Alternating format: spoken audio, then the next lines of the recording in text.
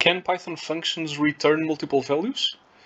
Let's open the Python REPL and find out.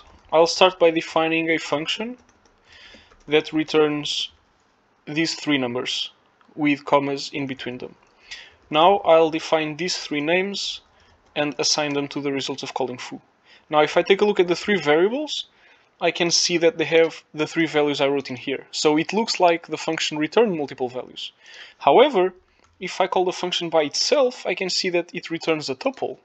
And I can verify this, for example, by asking for the type of the return value. This is a tuple.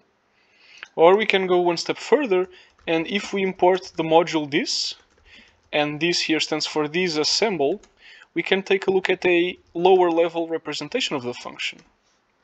And we can see here this instruction here, load const, this is this const here is or stands for constant.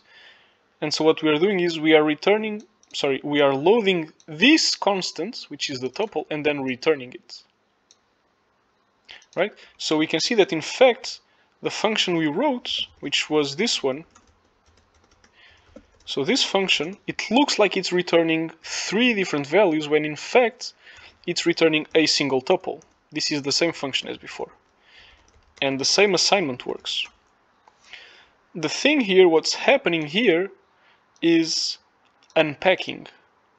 Because there are three values on the right and three names on the left, Python understands that it should give one value to each variable. You can spell it out like this, for example, 42, 73, 0. Right? So Python functions can only return a single value. The fact that a tuple is a container and contains other values, that's just, that's a whole other story. So Python functions can only return a single value.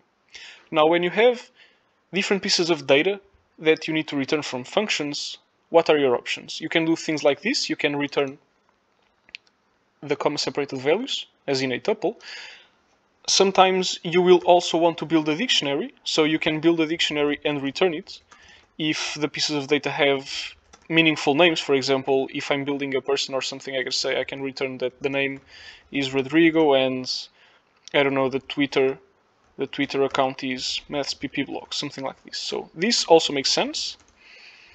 And other more advanced use cases include using a named tuple from the collections module.